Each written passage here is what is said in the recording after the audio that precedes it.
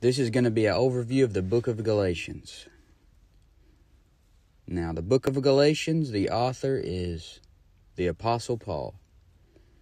And the historical time is 57 AD. This epistle has six chapters, 149 verses, and around 3,084 words. The theme is Christ our liberty. And Galatians means Gauls. Uh, his, the historical application, Paul addresses the false gospel of legalism. The doctrinal application is this epistle shows us that we are kept saved by grace through faith. Just like Romans shows us we're saved by grace through faith, uh, Galatians shows us that we're kept saved by grace through faith. You had all these people going around that were saying you were kept saved by being circumcised and keeping the law of Moses and by doing good works. But this epistle doctrinally shows you that you're kept saved by grace through faith. Now, chapter 1. In chapter 1, Paul lays down the authority of the gospel. He explains how he got his doctrine from Jesus Christ himself and didn't get it from flesh and blood. And he says in Galatians 1 3 through 4 Grace be to you and peace from God the Father and from our Lord Jesus Christ, who gave himself for our sins that he might deliver us from this present evil world according to the will of God and our Father. So the Lord Jesus Christ gave himself for our sins. For God so loved the world that he gave his only begotten son, John 3:16. He voluntarily laid down his life when he didn't have to. He didn't give uh, he didn't get anything from us, but he gave his life for us. True love is giving. And John 15, 13 says, Greater love hath no man than this, that a man lay down his life for his friends. The most true love ever was shown at the cross. The Father laying down the life of his Son, the Son giving his own life voluntarily for us. Knowing what Jesus did for you should make you never want to stray away from the gospel. Like the Corinthians were straying away from the true gospel. If you know what Jesus did for you, you shouldn't ever want to stray away from the true gospel. You shouldn't want to add anything to it because Jesus Christ loved you enough to shed his blood and die for you. What more could you add to that? Even why even listen to people who want to add or subtract from that? Imagine if you died for somebody and you were the only reason that they're alive today is because you died for that person. Imagine if they were going around saying, well, yeah, he died for me, but if it wasn't also for this and this and this and that, I really wouldn't be alive. I mean, he did die for me, but it was also because of this and this and this.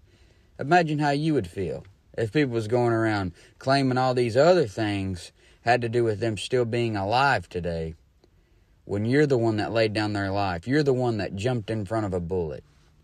You're the one that pushed them out of the way of uh, a train coming on a train track and ended up getting hit. You know, you gave your life for that person, but they're going around adding all these other things. Or maybe even saying, well, I saved myself. Imagine if you took a bullet for somebody and they're going around saying, yeah, you did take a bullet, but the reason they're alive is because of themselves. You see how crazy that is? The Galatians were having this problem, and that is what Paul was having to get on to them about. And he says in verse 6 I marvel that ye are so soon removed from him that called you into the grace of Christ into another gospel. Paul can't believe it. And he just marvels at how they have been so quickly deceived by someone concerning the gospel in Galatians 1 7, he says, Which is not another, but there be some that trouble you and would pervert the gospel of Christ. So you can pervert the gospel of Christ. It's laid out clearly in 1 Corinthians 15 1 through 4. Paul explains how he says, For I delivered unto you first of all that which I also received, how that Christ died for our sins according to the Scriptures, and that he was buried, and that he rose again the third day according to the Scriptures.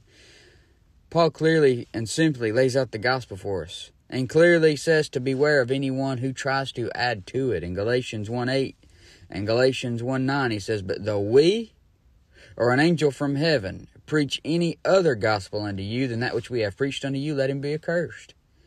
As we said before, so say I now again, if any man preach any other gospel unto you than that ye have received, let him be accursed. So Paul even includes himself in that. He says, But though we or an angel from heaven preach any other gospel, that shows that a a Christian can end up teaching a false gospel. And uh, you see, you can be you can believe the gospel and be saved, and then get messed up by somebody, and in turn start preaching to others a false gospel. So just because somebody's uh, preaching a false gospel doesn't automatically mean that that person's lost because they could have believed the gospel at one point and truly been saved and then be deceived and led astray by somebody, just like the Galatians were. And that's why Paul says, But though we are an angel from heaven, preach any other gospel. And or an angel. Angels do come with perverted gospels. One came to Joseph Smith and gave him the Mormon doctrine. People claim to see angels all the time. Peter tells us in 1 Peter 1:19 that we have a more sure word of prophecy though. So I don't need an angel to tell me anything because I've got the words of God. They the word of God is complete. They have instructed me. They've the the Bible's gave me the right gospel. And with these words I have a guide. I don't need dreams and visions and angels and false prophets and psychics and all this other stuff to tell me. I've got the words. I have a more sure word of prophecy. I don't need angels to come down and give me all this extra information. I'm struggling to understand all the information in the Bible itself right now. If you if they were to just come down and give me a whole bunch more information, it's it's just a work overload for me. It's going to take me a lifetime to understand the Bible that I do have. It's just funny to me that all these people are getting all these prophecies all the time, getting on YouTube on these YouTube videos saying, "Oh, I, an angel came to me in a dream. An angel gave me this prophecy." Uh, I got this news. The rapture is going to be next week. The ra- rapture is going to be next month. Okay, you these angels are giving you all these prophecies, yet you don't even know the prophecies that are in the Bible itself. That just doesn't make any sense to me. But though we are an angel from heaven, preach any other gospel unto you than that which we have preached unto you, let him be accursed. He says in verse 10 For do I now persuade men or God? Or do I seek to please men? For if I yet please men, I should not be the servant of Christ. Paul's not about pleasing men. He isn't a people pleaser. He's a God pleaser. He's not going to change the gospel to get a bigger income. He's not going to change the gospel to get out of being persecuted. He's going to preach the truth. He has a zeal for the truth. He says in verse 13, For ye have heard of my conversation in time past in the Jews' religion, how that beyond measure I persecuted the church of God and wasted it. Paul was in the Jews' religion. Before he was saved, he was a Pharisee of the Pharisees. He would torture and imprison Christians who believed the same thing that he believes now. And he says, And he profited in the Jews' religion above many my equals in mine own nation, being more exceedingly zealous of the traditions of my fathers. But when it pleased God, who separated me from my mother's womb and called me by his grace, you see, it pleased God to separate Paul from his mother's womb. It's a pleasure of God for a baby to be born. If you exterminate the baby, then you're taking away the pleasure of God. It's his, it's his pleasure for them to be born. And Paul is about to explain the things he is preaching didn't come from man. He got direct revelations from God. So when it pleased God who separated me from my mother's womb and called me by his grace to reveal his Son in me, that I might preach him among the heathen, immediately I conferred not with flesh and blood so the moment when Paul got saved, he didn't confer with flesh and blood. He didn't confer with men. He and then he says in verse 17, Neither went I up to Jerusalem to them which were apostles before me. He didn't even go to the apostles. He says, But I went into Arabia and returned again into Damascus. So he didn't go and consult with the apostles about the mysteries and all the stuff that he reveal, has revealed to us in his epistles. It says, Then after three years, I went up to Jerusalem to see Peter. So he went and got by himself for three years. And Paul, uh, God gave him all these revelations. So he went up to see Peter after the three years and abode with him 15 days. And he says, But other of the apostles saw I none save James the Lord's brother. So Paul got all kinds of revelations from the Lord directly in those three years, just like Moses did when he went up on the mount. He took three years, Paul took three years, and God was his Bible teacher. And God laid out the Bible for him. God gave him more stuff. You see, he's not doing that no more because we got a complete Bible. Paul wrote a lot of the Old Testament. Me and you are not writing the Bible.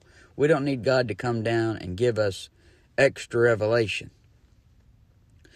But then, after the three years, Paul was able to talk to Peter.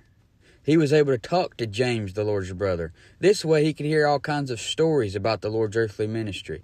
He, uh, James, the Lord's brother, could have told him all about stuff about Jesus that's not even written in the Bible for, that we know of today, just about Jesus growing up, about, and Peter could have told him all about walking and talking with Jesus for three years there. And you see, this sets a principle for us that before Paul went to man to learn anything about Jesus Christ, Paul got by himself and got with God alone to learn about Jesus Christ. So that's a principle for us. For example, when I do a chapter of the Bible, I'll go through the chapter, get everything out of it that I can, that God can give me, and then I'll listen to somebody preach on it. I'll listen to somebody teach on it. I'll look at a commentary on it. But if you can get in it for yourself, God can really speak to you before those men speak to you. But it's good to have both. And that that'll help keep you from from getting into false doctrine too. If you look at the chapter first, get a concordance, get eSword or something like that. You go through the chapter yourself, and then you listen to somebody preach and teach on it. That way you have an idea what's in it. You can know if that person's trying to deceive you or not. Or that person can actually correct you. Maybe you were wrong. You were deceived. And then you hear that person say something and correct you and it just opens your eyes about it. God can use use it that way. But that sets a good Bible principle there. Uh, let God teach you first. Let God give you all He's going to give you on it, and then get a commentary, then get a teaching on it. Now, chapter 2, Paul meets with Peter, James, and John about the gospel. And he's preaching the right gospel. And he wants to make sure all these other guys are on the same page. In Galatians 2 3 through 5, you're going to see Titus. It says, But neither Titus, who was with me, being a Greek, was compelled to be circumcised and that because of false brethren unawares brought in, who came in privily despite our liberty, which we have in Christ Jesus, that they might bring us into bondage, who, to whom we gave place by subjection, no, not for an hour, that the truth of the gospel might continue with you. You see, circumcision was the big thing when Paul was going around. Today, the thing, big thing for people is water baptism when Paul was preaching, you had false teachers going around saying you must be bab- or you must be circumcised, keep the law of Moses, and believe on Christ. They say you got to believe on Christ, but after that, to stay saved, you got to make sure you're circumcised and keeping the law of Moses. They were adding to the gospel. They didn't believe you were kept saved by grace through faith. So Paul gave them give them a place. No, not for an hour, he says. You know, he says they came in privily to spy spy out our liberty, that they might bring us back into bondage. You see, if you're going by the law, that's just putting you back under bondage. But Paul was bold in preaching the gospel of the death, burial, and resurrection of Jesus Christ, preaching that for salvation, and preaching by grace through faith to keep salvation. He proclaimed that if you put your trust in the gospel to save you, then you're saved. And Peter, James, and John all agree with Paul on the same gospel. So it says in verse 9, And when James, Cephas, and John, who seemed to be pillars, perceived the grace that was given unto me, they gave to me and Barnabas the right hands of fellowship. There's why you shake hands. There's the right hands of fellowship, that we should go into the heathen and they into the circumcision. now, this doesn't mean that they had a, a, a gospel, one gospel to Gentiles and one to Jews. It's that uh, Paul was primarily preaching primarily, not only, but primarily the apostle to the Gentiles, Peter primarily the apostle to the circumcision, the Jews. Doesn't mean they got two different gospels. They're preaching the same gospel. They just they're going to two different people primarily. But that doesn't mean that's the only people they go to because we know I mean who does uh, who's Paul's heavy burden for? His kinsmen according to the flesh. He says, you know, he talks about them in Romans 9 through 11. But he says in Galatians 2:16, knowing that a man is not justified by the works of the law but by the faith of Jesus Christ, even we have believed in Jesus Christ that we might be justified by the faith of Christ and not by the works of the law, for by the works of the law shall no flesh be justified. And what a great verse. You should have that verse memorized. It's just a clear verse. You aren't justified by the works of the law, but by the faith of Jesus Christ. For by the works of the law shall no flesh be justified. So you're not justifying yourself by your good works. he says in verse 20, I am crucified with Christ. Nevertheless I live, yet not I, but Christ liveth in me. And the life which I now live in the flesh, I live by the faith of the Son of God who loved me and gave himself for me. So you are crucified with Christ. And when you got saved, your body died in a doctrinal sense, in the eyes of God, your body died. It got crucified with Christ. You no longer have to serve the flesh because every morning you reckon it to be dead. Every day you reckon yourself dead. You die daily. It says in Romans 6 4, therefore we are buried with him by baptism, that's the spirit baptism, into death that like as Christ was raised up from the dead by the glory of the Father, even so we also should walk in newness of life. So my flesh is dead. Now I'm to walk in the Spirit. And if I live by the faith of the Son of God, then I'm going to walk clean. I'm not going to walk in the flesh.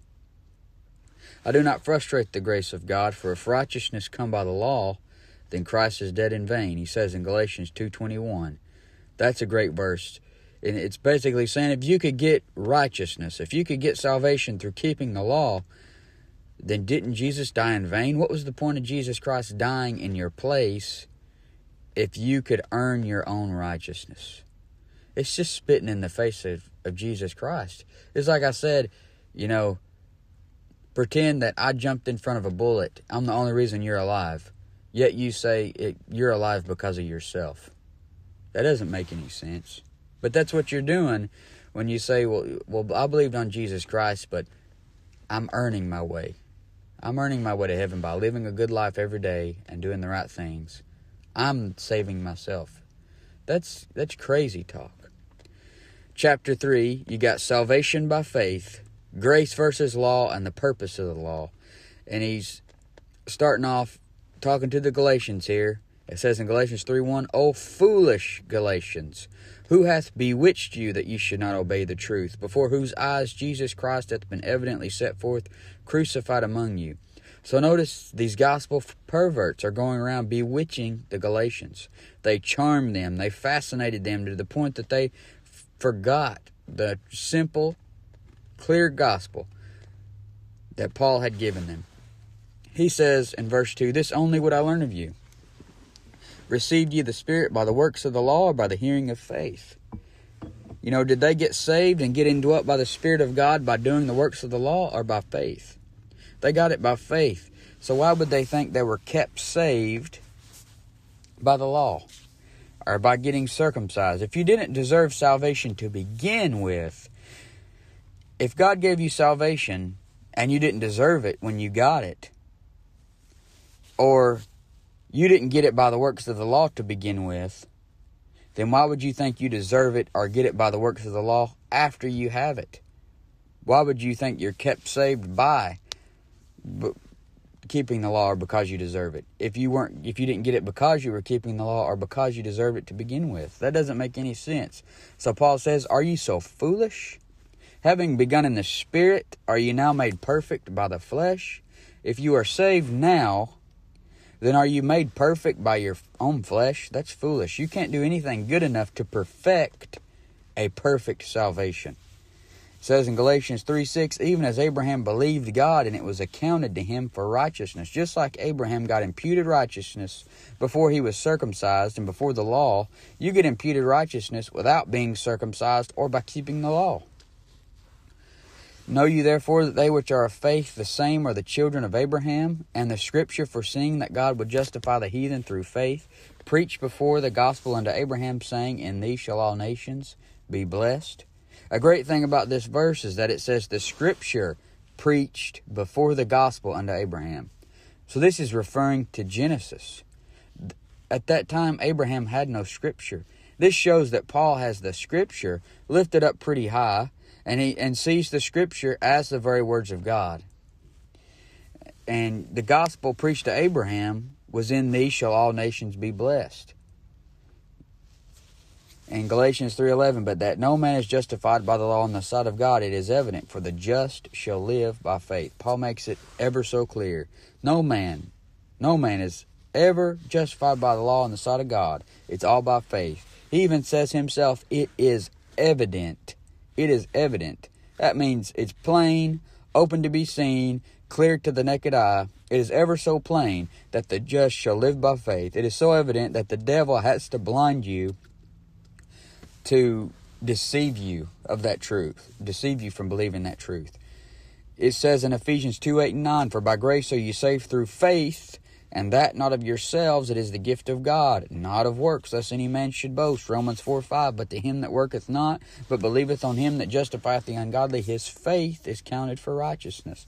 So you're saved by grace through faith without works. The works you did, good or bad, even the good works, even the bad works, before and after salvation, have absolutely nothing to do with your salvation. The works you do after salvation are nothing more than an issue of discipleship. You can be saved and not be a good disciple. There's a lot of saved people that aren't good disciples. It says in Galatians 3:13, Christ hath redeemed us from the curse of the law, being made a curse for us. For it is written, Cursed is everyone that hangeth on a tree. Jesus Christ became the curse. He became sin. He became our serpent on a pole. It says in 2 Corinthians 5.21, For he hath made him to be sin for us who knew no sin, that we might be made the righteousness of God in him. It says in 1 Peter 2.24, Who his own self bare our sins in his own body on the tree, that we being dead to sin should live unto righteousness, by whose stripes ye are healed. Jesus became the curse. He became our serpent on a pole. It says in Galatians 3:24, "Wherefore the law was our schoolmaster to bring us unto Christ, that we might be justified by faith." The law showed you that you were a sinner and that you couldn't be righteous enough. Galatians 3:25, "But after that faith is come, we are no longer under a schoolmaster." Notice that after that faith is come.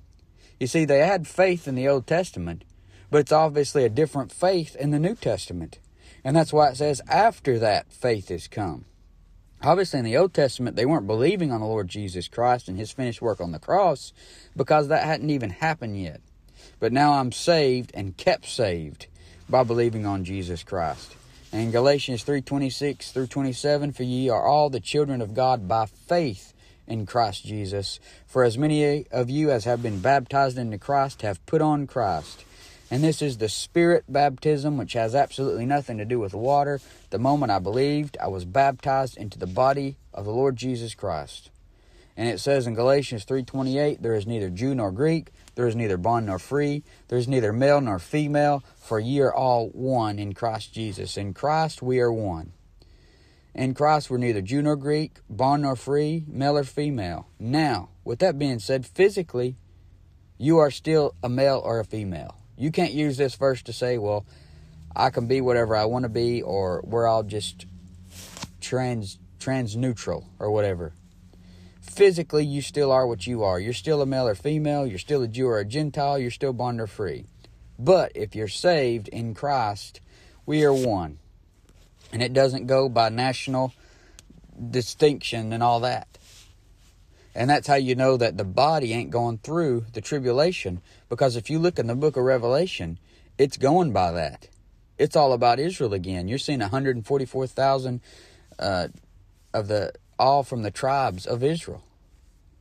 That's one way you know the body's not going through the tribulation because it goes back to God dealing with Israel. He's not dealing with Israel right now. He's dealing with the church, which is neither Jew nor Greek. Chapter 4 is about sons and heirs and about the example of Sarah and Hagar. You know, Sarah and Hagar, Abraham's wives, and back there in Genesis, and it says in Galatians 4:22, "For it is written that Abraham had two sons, the one by a bondmaid, the other by a free woman." So Abraham had two sons. That's Ishmael and Isaac. Those two sons picture your life. Ishmael pictures your first birth. It was no good. Isaac pictures your second birth. Your second birth is what got you in. That's your new birth. Just like Ishmael, Ishmael wouldn't be the heir. He was the first son. But the second son, Isaac, would be the heir. Your second birth, when you got born again, that's what got you in. Ishmael, uh, his mother was the bondmaid. That would be Hagar. She is associated with the law. Notice that it calls her a bondmaid.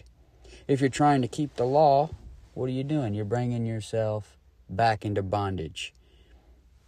Now, the free woman is Abraham's wife Sarah. From her comes Isaac. Galatians 4:23 But he who is of the bondwoman was born after the flesh, but he of the free woman was by promise. Ishmael is after the flesh, Isaac was by promise. Your first birth was a fleshy birth. Your second birth, that's what got you in when you were baptized into the body of Christ. So you see the picture there, and it says, Which things are an allegory? For these are the two covenants, the one from the Mount Sinai, which gendereth to bondage, which is Agar. Uh, notice two things. Agar is Hagar, obviously. She's a bondmaid. She reminds you of bondage, just like the law. Notice it says the one from the Mount Sinai. It says Hagar from Mount Sinai. That's where Moses got the law. For this Agar is Mount Sinai in Arabia, and answereth to Jerusalem, which now is, and is in bondage with her children. Notice how the other covenant, but Jerusalem, which is above, is free, which is the mother of us all. So New Jerusalem is the mother of us all. For it is written, Rejoice, thou barren that bearest not. Break forth and cry, thou that travailest not. For the desolate hath many more children than she with hath an husband. Now we, brethren, as Isaac was, are children of the promise. Just like Isaac was a child of promise, me and you are a child of promise. But as then he that was born after the flesh persecuted him that was born after the spirit, even so it is now. And how did he persecute him? He mocked him. So mocking is a form of persecution. So you may not be being burned at the stake, you may not be being hung upside down on a cross and crucified, but if somebody's mocking you for your faith, you're being persecuted. All that live, will live godly in Christ Jesus shall suffer persecution. Nevertheless, what saith the Scripture? Cast out the bondwoman and her son, for the son of the bondwoman shall not be made heir with the son of the free woman. Just like, you know, it's saying, you know, Abraham back there in Genesis, he cast out the bondwoman. He cast out Hagar and her son Ishmael. So then, brethren, we are not children of the bondwoman, but of the free. Now, chapter 5 stand fast in liberty, in liberty, but don't use your liberty for an occasion to the flesh. You've got liberty as a child of God, but don't abuse this liberty. Galatians 5:1 Stand fast in the liberty wherewith Christ hath made us free, and be not entangled again with the yoke of bondage. So we aren't sons of the bondwoman. I'm not a slave to the law. I'm free and have liberty in Jesus Christ. If I start thinking I have to do certain things to keep my salvation, then I'm entangled again with the yoke of bondage. Paul says in verse 2 Behold, Uh, I, Paul, say unto you that if you be circumcised, Christ shall profit you nothing. In the context, this doesn't mean that circumcised people can't be saved. This is referring to people who are relying on their physical circumcision or some good work. If they've just been relying on that to save them, then Jesus isn't profit, profiting them nothing. If you're relying on something else other than Jesus Christ, then it, Jesus is not going to profit you. You have to put your trust on Him. For I testify again to every man that is circumcised that he is debtor to do the whole law. If they were relying on their circumcision to save them, they also have to remember that to establish a righteousness good enough to get eternal life, they would have to keep the whole law from birth till death. The only man who ever did everything perfectly was Jesus Christ. But we're all born with a, a sin nature. We for all have sinned and come short of the glory of God. Nobody's keeping the law perfectly. Nobody ever has, except the Lord Jesus. It says in James two ten, "For whosoever shall keep the whole law and yet offend in one point, he is guilty of all." If they if they're circumcised and they step out in some other part of the law, I mean they're still guilty of all. Galatians 5 4 Christ is become of no effect unto you. Whosoever of you are justified by the law, ye are fallen from grace. The, now, this verse is commonly used to prove that you can lose your salvation, but it actually goes against what they're trying to say because that's not what it's saying at all. It's going against what they're trying to teach. Uh, if you've never trusted Christ, but instead you're putting your trust in keeping the law to be saved, then you've fallen from grace. If you're putting your trust in your own works, that's not what salvation is about. Now there's people who they when they got saved, they believed on the Lord Jesus Christ and they were just trusting in that. They weren't relying on their own goodness to get them to heaven. But then later on, like the Galatians, they were deceived into thinking that they had to keep the law to be saved. You know, they're still saved, they're just deceived and teaching a false gospel because they're deceived. But there are also people who never trusted in Christ that's always trusted in their works. And if you're just trusting in your works, then then you're you're the one that's fallen from grace. Galatians 5 7, ye did run well. Who did hinder you that you should not obey the truth? So, who hindered bewitched and got the Galatians so off track? Well, it was people perverting the gospel, coming in and adding works to the gospel. That too is hindering them. Galatians 5:13 For brethren ye have been called unto liberty only use not liberty for an occasion to the flesh but by love serve one another. You have people who say well, you believe in once saved always saved so you just believe you can go out and do whatever you want to do all the time. But I have never thought that. I've never actually heard a preacher say that or any Christian say that who believes once saved always saved. They must uh, they must be thinking that's what they would do if they believed once saved always saved. They must that must be what they would do if they believed in eternal security. But Paul comes back and makes it very clear. He says, "Use not liberty for an occasion to the flesh. Don't abuse your liberty and just do the sinful things your flesh wants to do just because you have eternal security. It says in Galatians 5:14, "For all the law is fulfilled in one word, even in this, thou shalt love thy neighbor as thyself." You see, if you love God and you love everyone else around you more than yourself, then you're going to have no problem keeping God's laws. If you love your brother, then you're going you're going to treat him right. You're not going to steal his stuff.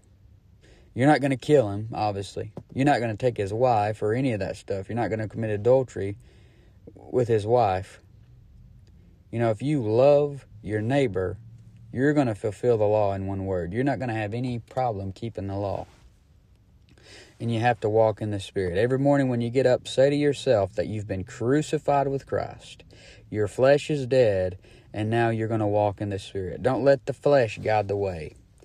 Paul says in Galatians 5:16, "This I say then, walk in the spirit, and you shall not fulfill the lust of the flesh. For the flesh lusteth against the spirit, and the spirit against the flesh.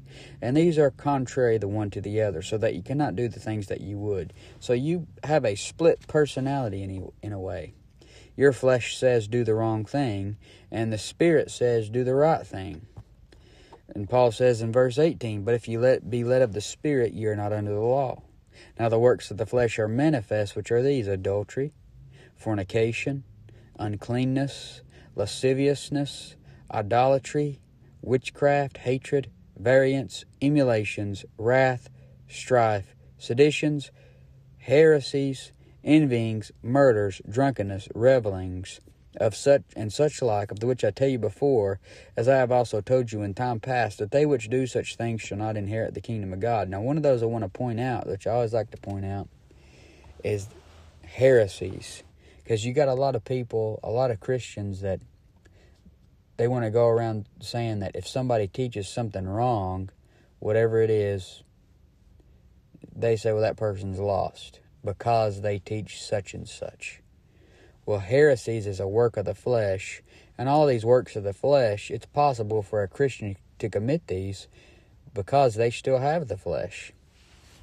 It's possible for a Christian to walk in the flesh, teach heresies, just like the Galatians were believing these heresies and most likely teaching these heresies that they had been taught, even though they were saved.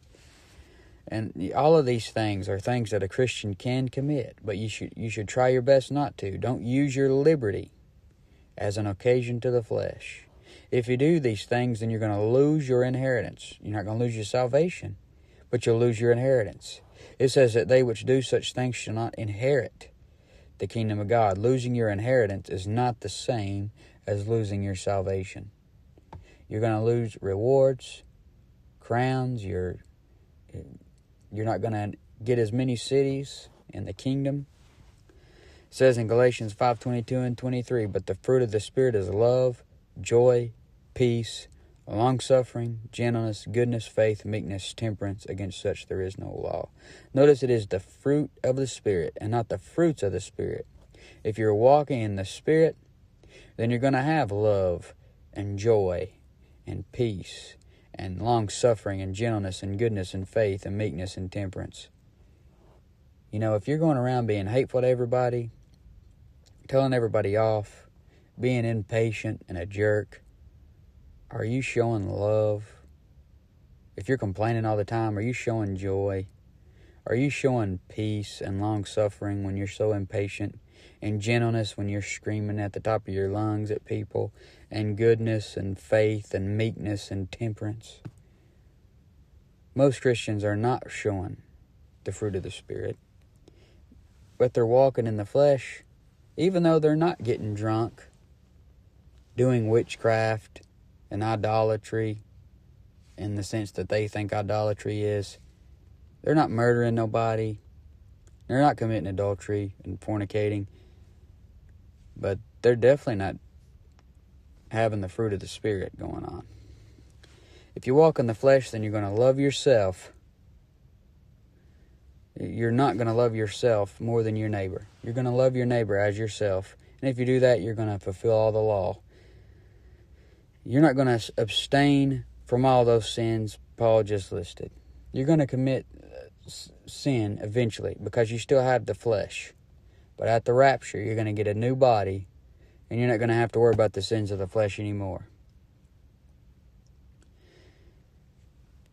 Now, chapter 6. This chapter is about bearing burdens, restoring one another, and about how you're going to reap what you sow. You see, it says, bear one another's burdens.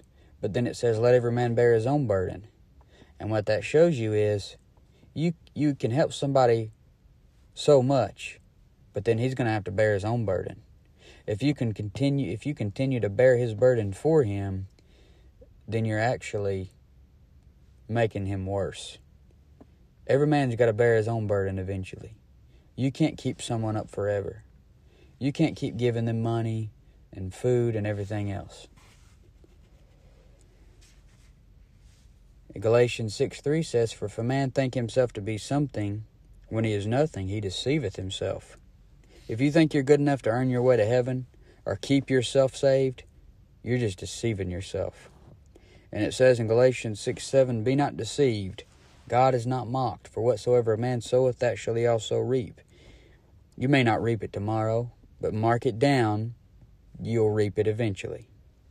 For he that soweth to his flesh shall of the flesh reap corruption, but he that soweth to the Spirit shall of the Spirit reap life everlasting. If you do bad things, then you're going to reap bad things. If you do good things, you're going to reap good things. says in Galatians 6 9, and let us not be weary in well doing, for in due season we shall reap if we faint not. Doing good and keeping the flesh down can be exhausting. It can make you weary. But in due season you're going to reap. As we have therefore opportunity, let us do good unto all men, especially unto them who are of the household of faith. Do good to every man. Be nice to everybody. Everybody's having a hard time. Everybody is a person, just like you. But especially do good to the house of faith, the household of faith. Especially to your saved brothers and sisters in Christ. But this has been the Galatians overview.